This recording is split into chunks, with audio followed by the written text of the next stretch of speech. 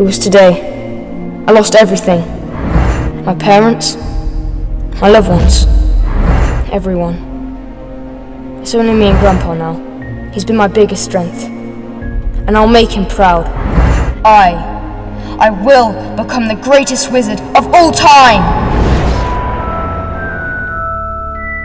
And your uncle took the Elder Wand and snapped it into two pieces and threw it into the sea, and it was never found. And Mr. Ollivander said, Our broken wand can never be repaired. Lord Voldemort's dead now. We don't need the Elder My, my child, my child, how many times have I told you never to mention his name?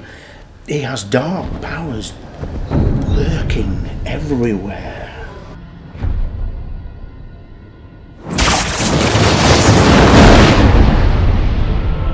You.